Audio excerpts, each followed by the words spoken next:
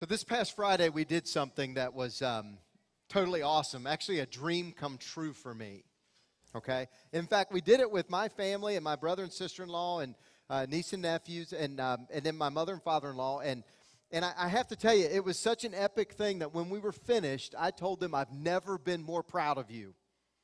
I'll tell you what we did. We did the Butler County Donut Trail. It was awesome. If you guys don't know this about me, I love donuts. I love them. I love donuts. I love to eat donuts. I love to look at donuts. There's anything with a hole with sweetness, man, it's awesome, right? But I'm going to be honest with you for a second. The way we did the donut trail was we wanted to do it all in one day. Now, you could spread it out. What it is, is there's actually nine stops on it, and you get a passport. And then you go in these participating donut shops, and when you buy the donut, they stamp it. Now, you could spread it out if you want to be wimpy and do it over the course of a few weeks. But we preferred to get up early, so we met at 5 a.m. on Friday and we were ready to go eat some donuts. Now, there were nine stops on the way, but one of them was being remodeled. Very sad. I heard it was a very good donut shop. The other one, they gave you a free stamp, so we only had to go to seven donut shops. That's not a big deal, right? Not a big deal at all. In fact, as we were going and, and taking off, I just, like, I was excited. And, and so we, we stopped at the first one, and, you know, we get our donut, and they're stamping, and it's exciting. Over 2,000 people have done the donut trail. And when you get finished with it, you go to Butler County's Visitor Bureau when they, if, we went right when they opened at 8.30 on Friday, and you get a t-shirt, which is, I'm going to wear it with pride later today. It's the greatest shirt ever, right? I worked hard for that. But here I am, someone who loves donuts, and I'm on this donut trail with my family, and we're going around. Some of the donut shops were like a mile and a half apart. So you don't get a long time between. So you're eating a big donut and you get to the next one, you're like, oh man, here we go. And you just keep going, right? Now, now some people in our group decided they weren't going to eat all of them. They were going to take some home. And that was kind of wimpy. I felt like if you're going it, you just got to eat it every time you go. You eat the donut. So I ate a few extra, like little pieces here and there, try this and all that. And being someone that loved donuts, I started feeling a little bit sweeted out. Do you know what I'm talking about? Where you're just like, man, I, I'm, I don't know about this, you know. But I kept pushing on because I just love donuts. And then we stopped at one.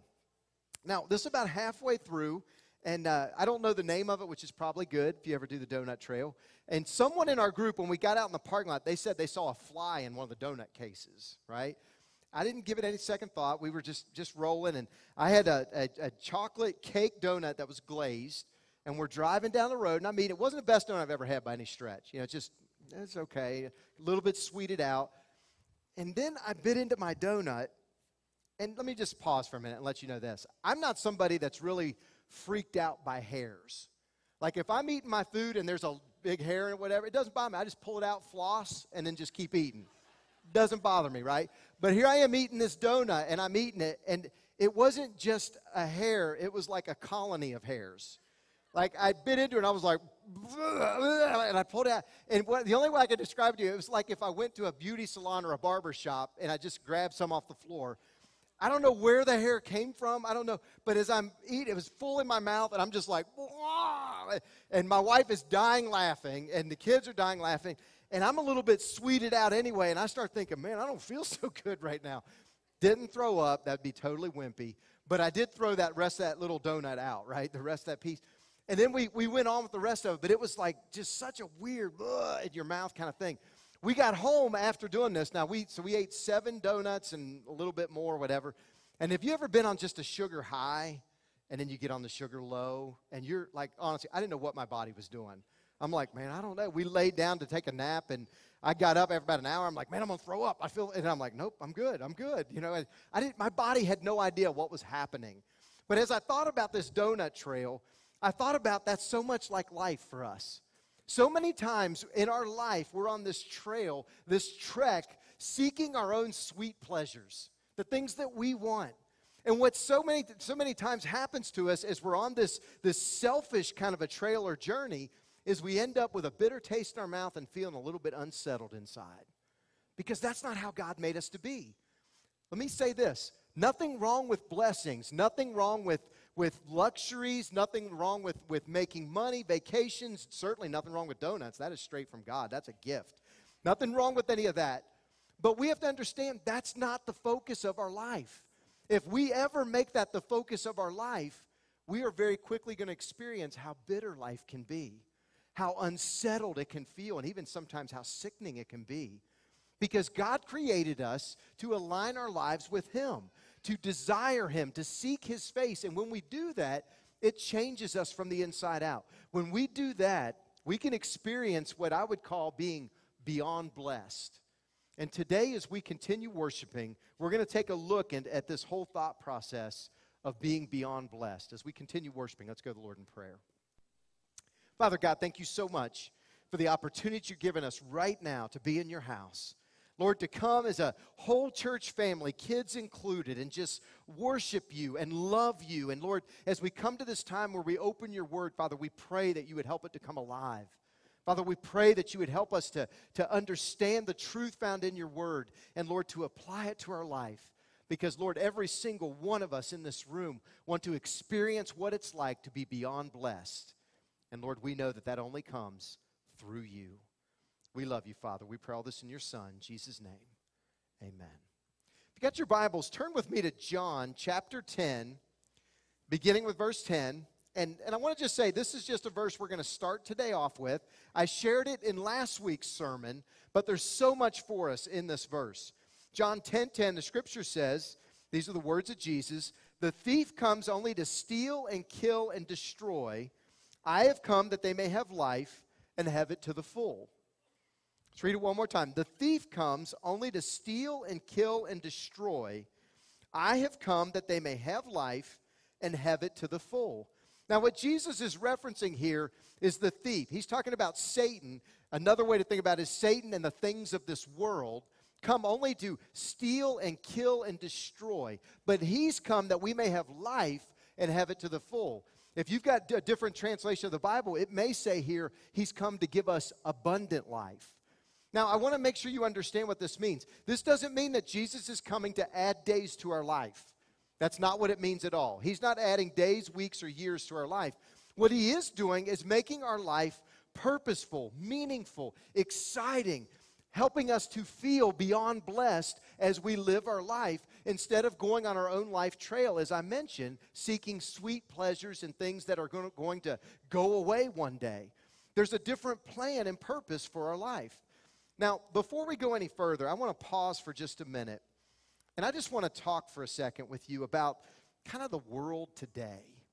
As I've been looking at the events um, on every landscape, whether it be political, whether it be terrorism, whether it be um, social um, issues and, and things from Dallas police shootings, police brutality, everything in between, here's the one thing that I've heard that seems to be constant. People are saying, What in the world is going on? What is happening in our world today? In fact, people are looking at it from so many different things. Social media, you'll see, like right now, if we pull up anybody's Facebook, there's all kinds of posts of people saying, What in the world is happening? I don't know what's happening. I feel so unsettled. And, and I don't want to make light of any of this stuff. These are serious things. In fact, we talked about them on this donut trail while we're stuffing our face with donuts, just about how strange things are right now. But I want to remind each and every one of us that God is bigger than it all. God is bigger than terrorism. He's bigger than, than people that make sinful decisions to hurt innocent people, whether it be terror attacks or whether it be police shootings in Dallas.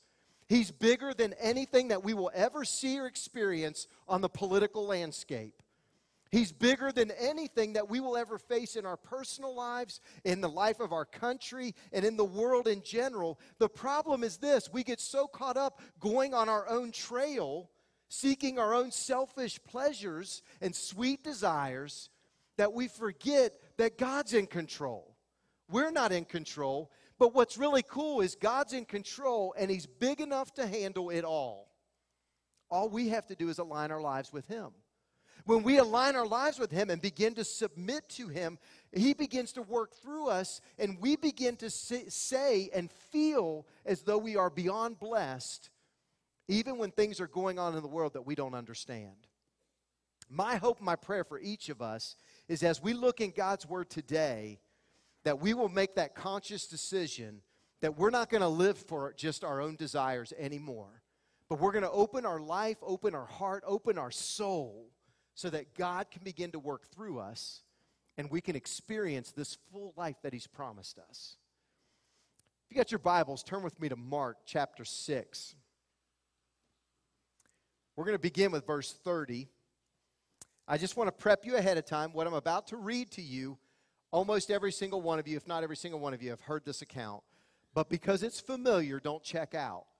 Don't just gloss over it in your mind or don't fade out into something else. Stay with me on this.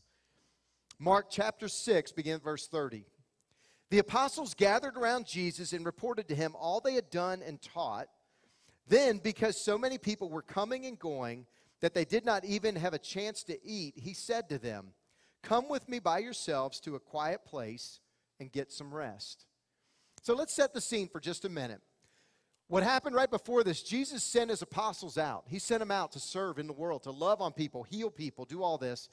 They come back to Jesus and they're so excited to share with them what God has been doing through them. As they're sharing with them, they're tired, they're hungry. But in typical fashion, they're coming to Jesus, and everyone else is coming to Jesus and seeing him. And the scripture says so many people were coming that the apostles didn't even have a chance to stop and to get something to eat. Jesus, knowing that, look what he says to them Come with me by yourselves to a quiet place and get some rest. Jesus says, let's, let's separate out and let's get some rest. You guys are tired. Let's keep reading, verse 32. So they went away by themselves in a boat to a solitary place. But many who saw them leaving recognized them and ran on foot from all the towns and got there ahead of them. When Jesus landed and saw a large crowd, he had compassion on them because they were like sheep without a shepherd. So he began teaching them many things. So Jesus says to them, Hey, you guys are tired. You're not even getting a chance to eat. I know you're hungry. Hey, let's go into a solitary place. They get on the boat and they're going down the water, and people recognize them and they start running along the shore. I see them and they're going down the shore. More people see it, and more and more keep following them. So much so that when they get there, their boat makes landfall, and as they step off the boat, now a huge crowd's waiting for them again. And Jesus, seeing them, having compassion on them, as the scripture says, seeing that they were like sheep without a shepherd, he begins teaching them. Now, what you have to understand, if Jesus is starting to teach them things, the apostles are right there with him. So here they are, they're not getting to rest, they're not getting to eat, and they're right back where they started. Verse 35.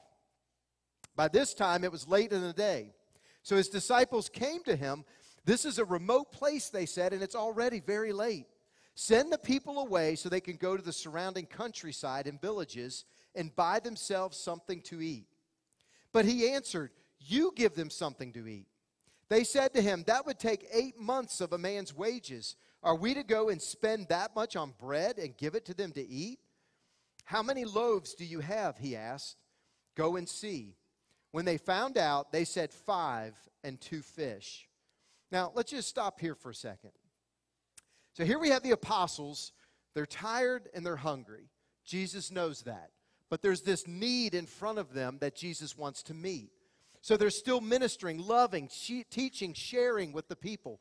But then as it starts to get late, the apostles come to share some great revelation with Jesus. And they say, Hey, hey, Jesus, it's getting late.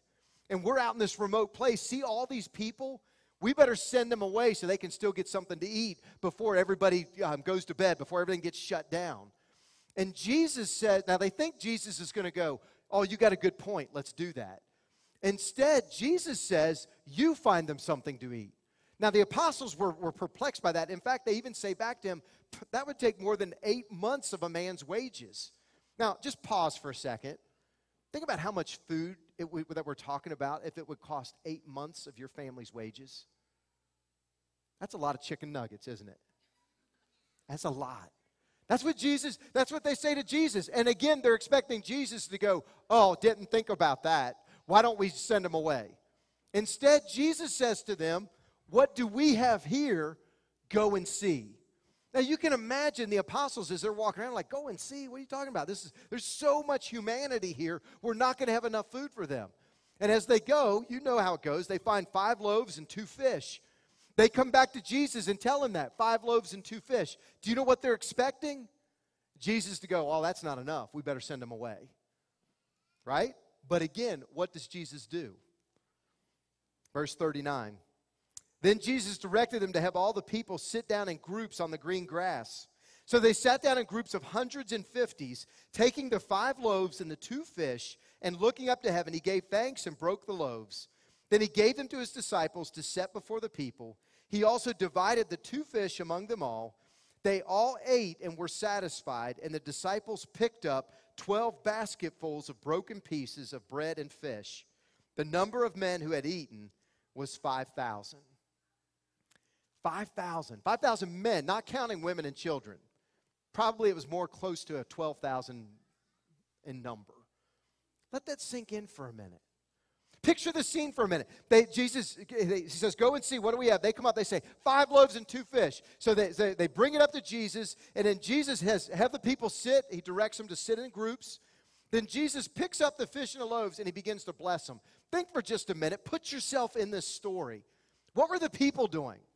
The 12,000 people. They're sitting in groups now, and then they're looking up and they see Jesus with five loaves and two fish, and he's blessing them. I bet you what some people at least said was, Are we just going to watch Jesus eat? Looks like he's getting ready to eat. He's blessing it. Not even realizing this great miracle that's about to happen. Think about the apostles for a minute. Jesus says, Sit them down. So the apostles are going out and they're saying, Hey, everyone sit down in groups of hundreds and fifties. I'm sure people said, Why? And they were probably saying, Because Jesus said so. Jesus said so. Just do it. You have all these people being obedient to what Jesus said and the apostles being obedient, even when it didn't make sense. Nothing about this story makes sense. We think it does because we've heard it so many times. It doesn't make sense. It just doesn't. But then Jesus blesses it, and as he brings it down, he begins to break it off and to begin to separate it to the apostles, and he says, Go feed them. Have you ever thought about how bizarre that is? Have you ever put yourself in the moment? For instance, Peter, Jesus breaks this, this bread. There's only five loaves, there's 12 apostles. They're breaking off little pieces. So, so here, Peter's got a, a piece of bread and a piece of a fish, and he's walking up to these groups of people, and he's thinking, okay, okay. And he starts to, to break it off and to give it to them. I don't know how this miracle happened. I don't know. I don't know if when he broke the bread and he handed it, all of a sudden it expanded into a whole loaf. I don't know if as he broke it and handed it, it grew back. I'll tell you the truth. If I was there, I'd be looking, wouldn't you? How's this happening? What's going on? I'd be like, I mean, what happens if I eat it? Is it happening in my stomach now? You know, I, it's such a weird moment, right? But we read it like nothing's happening. We read it so familiar. We take the miracle out of the moment. And yet, God is doing something remarkable. Let me expand your mind for just a minute if you haven't thought this way. First thing, first truth today, as we're wrestling with Beyond Blessed God doesn't need you, and God doesn't need me. And God certainly didn't need the apostles. Think about it for a second. Jesus is all powerful. I believe that. I know you believe that. He could have met this need any number of ways, right? He could have snapped his fingers and immediately taken away the hunger pain. So nobody's hungry anymore. He could have literally whispered a prayer and food could have just started popping up, double cheeseburgers right out of the ground for them all. He could have done that. In fact, God's done that before in the Old Testament, right? With manna. He could have done that. He could have said a different prayer, waved his hand, and the sky start raining food on these people. Jesus could have done it any number of ways, but instead, he chose to use the apostles. He chose to use them, physically use them. Grab this food that I just blessed and start breaking it off and feed them. Let me tell you something God loves to spend time with us. He loves to spend time with us. Jesus loved to spend time with his apostles. Everywhere he went, he had crowds of people. Even in this moment, the reason they're feeding people is Jesus pulled up on the boat and they were all there and he saw them and he had compassion on them. He wanted to spend some time with them and be a blessing to them. God loves to spend time with the apostles then. He loves to spend time with you and I now. He doesn't need us. Don't ever let your twisted mind think for a second that God needs you. God wants to be close to you. God wants to spend time with you because He loves you, because that's why He created you, to have a relationship with you. That's incredible. That's awesome. Jesus could have fed these people any number of ways, but He wanted to let the apostles be part of this blessing. He wanted them to break off these pieces of bread and fish and to keep feeding people and keep going. Now, here's the part that we miss. Think about it for a second. There's 12 apostles, there's people everywhere. 12,000 people is a lot of people. Can you imagine as they're going, Peter's breaking it off, and as he keeps going and he's on maybe number 100, he's going to his next group, he's blown away. I, I, promise you, he's smiling. I promise you, he's excited. I promise you. He keeps looking back at Jesus and he keeps looking at the other apostles and he's going, Can you just picture it for a second? We read it in such a weird mindset. Like he's like, There you go, there you go, there you go, there you go. This was a moment of worship. This was an exciting moment. Can you picture the people starting to cheer because they just saw Jesus bless five loaves and two fish?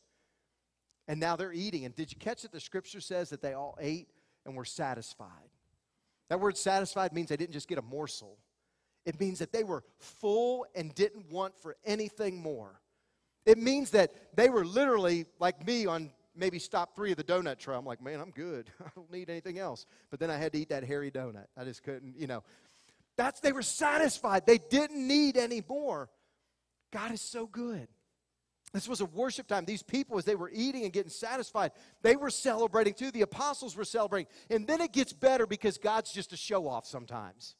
He just loves to show off. Seriously, 12 basketfuls of scraps at the end? One for each apostle?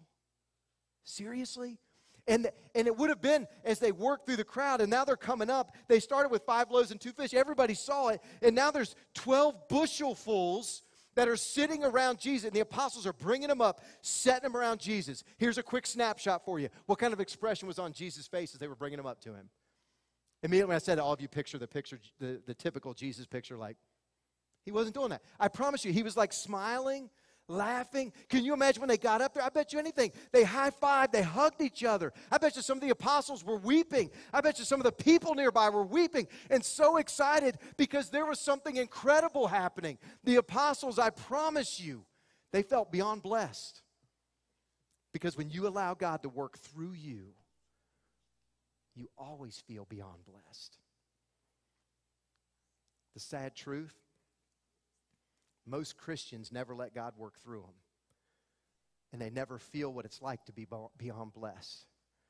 Instead, what most Christians feel is a sense of duty to come to church, check off the box, read my Bible a little bit, instead of just letting go of you navigating the trail of your life, seeking your own sweet desires and pleasures. Nothing wrong with nice things again, but that's not the end all. Christ is the end all. And when we let go of those things, enjoy them and have balance in our life, but make the desire and the focus of our life Christ, it changes us. And that's where we begin to feel God working through us, and we are beyond blessed. And when you're beyond blessed, it's addictive. And when you're beyond blessed, you know that God has just done something remarkable. Let me close with this. We just got back from the um, Amazon River missions trip. Um, I went there. Um, I took my son Luke, my daughter Hannah, uh, Lauren Gentry, and Holly Shepard. And uh, we went down there, met up with some other churches. We got on this houseboat, and we're going down the Amazon River, literally with John boats. We'd stop at villages and get into the John boats sometimes and go up to other small houses along the river. And it was pure sharing the love of Christ walking up to people and asking them, Hey, are you going to heaven or hell? Do you know Jesus is your Savior? And beginning to share with them. It was an amazing, amazing time there. And uh, so, so one day we were separated into different teams. So my team was actually my daughter Hannah and Lauren and Holly, and we had our interpreter Dexter. My son Luke was on another team. There were a total of six teams, and we were doing different things in this village called Aztec. Aztec. And as we were there, it was, um, it was right after lunch. And if you don't know this, the Brazilians have siesta, even in the outlying villages, right? And what that means is at lunchtime, between lunch and about 2:30, people eat and they rest. And if you go up to their houses, then you're not always going to catch them or you're not always going to have a warm welcome because you're interrupting, right? Well, here we were in, in this Aztec, and it was a, a built up uh, city, not with buildings, but it was spread out, a lot of people there. And we're walking down these streets, and what we were going to do, since it was during siesta, was we were going to do street evangelism. If someone was out in the street, we were going to go up and talk with them. And then we were also going to be directing everybody back to the church a couple blocks away where we would be having a worship service at 7 o'clock. And as we're walking through the city streets, we, we shared with a few different people. We, we were on the sidewalk, and literally, here's the sidewalk, right here's houses, and I, I won't go into all the details for brevity, how strange it is over there. But there's like a, a covered porch with a table, and I could see the door open. There was a family in there about to eat something.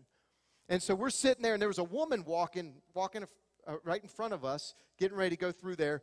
And at first thought, I thought, we don't want to disturb her at siesta. She's getting ready to go with her family. And we stood there talking for a minute, and she, she paused for just a minute, and then our interpreter, Dexter, said, Let's talk to this woman.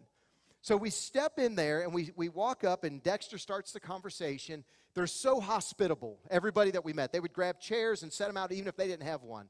And you have to sit in it, otherwise it's disrespectful. So, so we're all sitting in the chair on this one side of the, there's a table, and she's sitting on the other side, and everything goes through our interpreter. And on this particular time, Lauren was going to be sharing, uh, you know, point on it all. So, so she asked the key question that we always ask. In your personal opinion, what do you understand it takes to get to heaven? And that's the foundation. Their answer is what we de- how we decide what we're going to say next. And this woman says she believes that you have to have um, Jesus in your heart by grace and through faith. And let me tell you, that's a good answer, right? So we're like, man, that's great. So then we would always follow up with, are you 100% sure that if you died, you would go to heaven? Because we want to make sure that it's not just words they're saying, but they understand it. And this woman, through the interpreter, said, yes, absolutely. And so, as team leader, when we hear that, I'm thinking, okay, this woman doesn't need Christ. So I say, I typically would say something like, um, you know, Dexter, ask her if there's anything we can pray for her or her family for before we leave so we can go on down the street. And as I start talking to Dexter, this woman interrupts and starts talking to Dexter and saying a bunch of stuff. And then Dexter, literally, after she shared for a few minutes, his face kind of just dropped and he just starts looking at us for a minute. And he said, This woman is, woman is telling us that she is a, a person with strong faith in Jesus Christ. That every morning she gets up and spends time with God in prayer and studies her Bible. He said, She told me that she's been struggling for the last few months. Didn't say what the struggle was, but she said on this morning, this day, when she opened her Bible, she read some verses, and in her prayer time, she felt like God gave an answer to her struggle, and God followed it with, Today, I'm going to send some people to your house to encourage you. Let me tell you something. When he said that, we looked at each other. I could see tears flowing. And I can't even describe to you the feeling beyond blessed to know that God is in that moment. That God brought us from Cincinnati, Ohio to Azatec on the Amazon River to be an encouragement to a woman that we had never met, who we can't even talk to. We were an encouragement to her. As soon as we, she starts sharing that, we begin to talk, and I start telling her, We're going to be praying for you. We're going to be praying while you're building up your church and, and your faith here in Brazil. We're doing it back in the States. And as we keep talking, I recognize that this was a spiritual milestone that I and the girls on my team would never forget. Beyond blessed. And I'm just going to be honest, I can't wait for the next moment. I'm excited for the next moment. But as I share that, many of you are looking at me right now and you've never felt that. And I'm not sharing it so you can go, oh, you guys are holy, good job. That's not what I'm saying. What I'm saying is, I want you to want it. I want you to want it like I want it. I want you to experience beyond blessed, not just going through the motions of church, because it is so different. Jesus is calling us to a full life, an abundant life. And for so many of us, we're content to just go through the drudgery of life on a trail seeking our own sweet desires. And we wonder why we don't feel excited inside. We wonder why sometimes we feel sick inside. We wonder why the events in the world bring us down so quickly.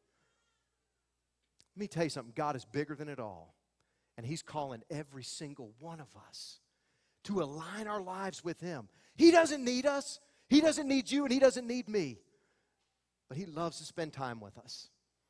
And when we let go and let God work through us, we begin to understand what it really means to be beyond blessed, just like the apostles as they were feeding the 5,000. I don't know what God's speaking to you about. I'm going to say a prayer. We're going to have some deacons right down here at the front. If you're here today and you've never asked Jesus to be your Lord and Savior, step out. May today be the day that your eternity changes. For the rest of us, stop being satisfied. Stop being satisfied. God wants to show you things that will blow your mind, but He's not going to show you when you're just going through the motions and you're not willing to step out on faith. You say yes, whatever God asks you to do during this invitation time. Let's pray together. Father God, thank you so much for the opportunity you've given us to, to worship you, Lord, to study your word, and Lord, to see this incredible miracle, and Lord, to understand that you are the same God. You work the same way. Lord, we recognize that you don't need us. But Lord, we recognize that you like to spend time with us. And when we open our lives up and let you work through us, we are blessed beyond all measure. Lord, right now I pray for anybody in this room that doesn't know your son Jesus as Savior. Lord, give them the courage and the strength right now to be changed, not just for today, but for all eternity. Lord, for all of us, may we no longer be content to just go through the motions. May we align our life and our desires with you. May we open our heart up and say, God, we're a tool to be used in your hands. Put us to work. Because, Lord, I know you've got great things that you want to show each of us. You are so good to us. We love you, Father. May you be honored and glorified as we, your people, are obedient now. We pray all this in your Son, Jesus' name.